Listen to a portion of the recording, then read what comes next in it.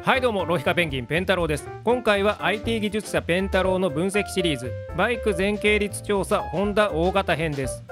動画公開時のメーカーウェブサイト掲載モデルのうち競技用を除いたものを対象にしています。一通りのメーカー車種が終わったら総合ランキングを作りたいと思っていますが数が多いのでメーカーのカテゴリーごとに順次計算して公開していく予定です。身長は 175cm と 160cm の2パターンを計測しました。一旦 175cm で比較していきます。まずはホークイレブン。新しい解釈のロケットカウル。セパレートハンドルでそれなりの前傾姿勢に見えますがどうでしょうか？ハンドル幅710ハンドル前方位置630ハンドル上下位置マイナス115前傾率49.7%のハードモードです。ちょうど鈴木の SV650X とほぼ同じですね。前後上下ともかなり近いです。では次。ホンダでこのバイクは外せない。CB1300 スーパーフォアと CB1300 スーパーボルドール SP を測ってみました。CB1300 スーパーフォアはハンドル幅795ハンドル前方位置530ハンドル上下位置マイナス275前傾率23%の程よい軽前傾です。CB1300 スーパーボルドール SP はハンドル幅825ハンドル前方位置510ハンドル上下位置マイナス277前傾率21%の同じく程よい軽前傾です。写真の多少の誤差もありますがスーパー4はスーパーボールドールまた SP で少しスペックが違うものの大体同じ水準です。次は空冷4気筒のクラシックテイスト CB1100EX と CB1100RS です。ファイナルモデルは即完売してしまったようです。CB1100EX はハンドル幅830ハンドル前方位置445ハンドル上下位置マイナス257前傾率13.2%のほぼ直立の血板予備軍です。CB1100RS の方はハンドル幅800ハンドル前方位置484ハンドル上下位置マイナス197前傾率23%の程よい軽前傾でした。EX と RS で結構違いがありますね。RS の方が少し前傾気味でスポーティーな感じです。クルーザー行ってみましょう。レベル500はハンドル幅850ハンドル前方位置530ハンドル上下位置マイナス341前傾率21.1%の程よい軽前傾です。これがスポーティーに走れるクルーザーたるゆえんの一つでしょうか。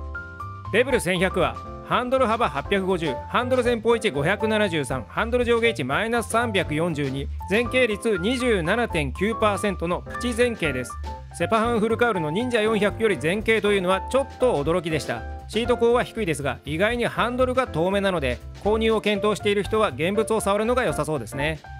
ネオスポーツカフェホンダの R シリーズです。このシリーズは全体的にバーハンドルの絞りが少なく見た目の割にハンドルが遠めですが650と1000はどうでしょうか？CB650R はハンドル幅780ハンドル前方位置543ハンドル上下位置マイナス236前傾率27.5%のプチ前傾です。CB1000R はハンドル幅790ハンドル前方位置586ハンドル上下位置マイナス213前傾率36.4%の普通の前傾です。CB1000R の方はシート高830なのでオフロード系を除いた中ではシートがおよそ一番高いゾーンにあります。XSR700 や Z900RS にハイシートを乗せた状態と近い高さです。この辺りの高さを未体験の人は現物で体型との相性を確認するのが良いでしょう。ではアドベンチャー系を順にいきます。VFR800X はハンドル幅870ハンドル前方位置431ハンドル上下位置マイナス305前傾率9.3%アフリカツインはハンドル幅960ハンドル前方位置393ハンドル上下位置マイナス325前傾率7.7%これらは完全直立の確定ケツ板ですね。あなたのケツが生き残れるかはシートの優しさ頼みです。NC750X はハンドル幅845ハンドル前方位置494ハンドル上下位置マイナス289前傾率18.6% NT1100 はハンドル幅865ハンドル前方位置481ハンドル上下位置マイナス295前傾率17.1%これら2つはほぼ直立のケツ板予備軍です。ホンダのシートが優しいことを期待しましょう。スクーターも見てみましょう。XADV はハンドル幅940ハンドル前方位置376ハンドル上下位置マイナス304前傾率5.8%ゴールドウィングはハンドル幅905ハンドル前方位置421ハンドル上下位置マイナス280前傾率11.8%ですね。スクーターはこんな感じでしょう。きっとシートは分厚くて快適なはずです。乗ったことはありませんが。では真打のフルカウルモデルに行きましょう。まずはツアラーの使い方をする人も多い。CBR650R から。ハンドル幅750ハンドル前方位置617ハンドル上下位置マイナス116前傾率48.7%ハードモード来ましたね。先ほどのフォーク11と前傾率は大きく変わりません。こちらの方が若干ハンドルが近いか。では次に WR の CBR600WR こちらはより本格レースモードなので気合が入ってるんじゃないかと思いますがどうでしょう？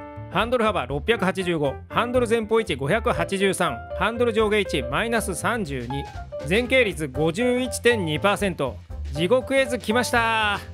ハンドル上下位置がほぼシートと同じくらいの高さですね。WR となると姿勢からも本気度が垣間見えます。そして次はホンダが誇る最高峰レースマシントリプル R に行きましょう。CBR1000RRR ファイヤーブレード。